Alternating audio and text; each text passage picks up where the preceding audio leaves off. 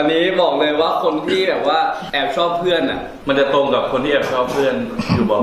ดูเมื่อกี้ก็คือแบบมันดราม่ามากแล้วก็รู้สึกว่าอะไรที่มันดราม่าดราม่าแล้วถ้าเล่นดีอะมันก็จะแบบอินอะๆผมรู้สึกแบบเข้าใจอารมณ์ของคำว่าเพื่อนโอ้ยๆผมก็ว่าเรื่องนี้แบบน่าดูไหนบอกว่าเรื่องแม่สำคัญที่สุดไง จะชอบเธอจริงๆนะ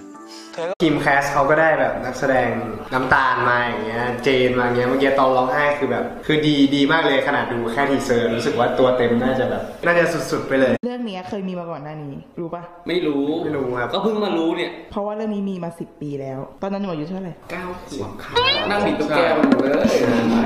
ฝากซีรีส์เรื่องอุบัติรักข้ามขอบฟ้ากันด้วยนะครับ ก็ทุกวันอาทิตย์นะครับ เวลา2ทุ่ม10 นาทีครับ ทางช่องจีม25 ครับ